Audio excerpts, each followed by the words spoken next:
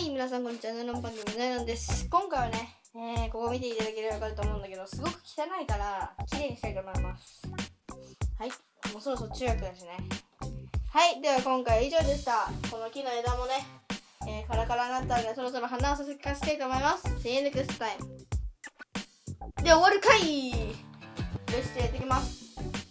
綺麗にね。で、帽子は一番上に全部かけようか。私帽子あんま使わないんだけどねコーンはい。オッケー。見えてないけど上見るとこんな感じです。はい。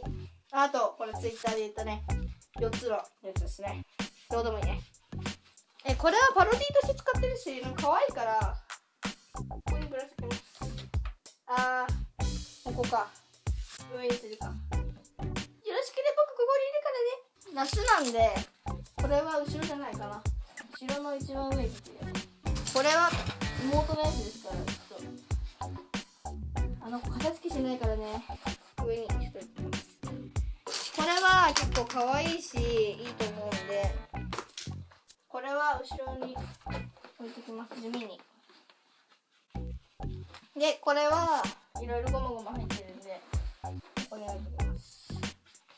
でかあんま使ってないしこれは上からつけといた方がいい気がしますね。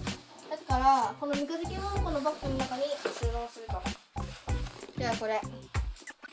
キャンディーのバッグ。ちっちゃいバッグこの中しまおうか。ドラえもんも。このねチェキ入れる袋ですね。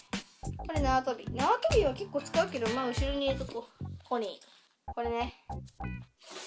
結構パンパンだったんでこれ後ろに置きます。あ困った。もしかして入らないパターンか。じゃあこいつがどこするか。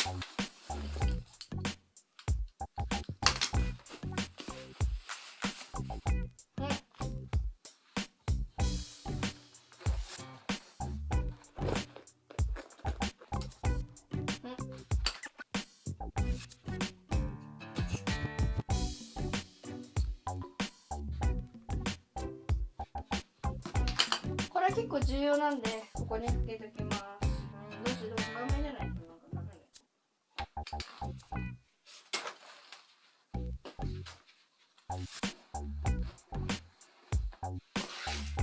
だバッケンバッグは上にここにねいつも書いてあるんであんま変わってないな多分見た感じ私はあまり変わってないと思いますねこのいつものバッグはこの椅子のあのここに飾ってあるんですよ。でセカオワのこのバッグは物がちょっと今いっぱい入ってるんですけどここにね。それではねこんな感じでした。また明日のね、の番組でお会いしましょう。See you next time.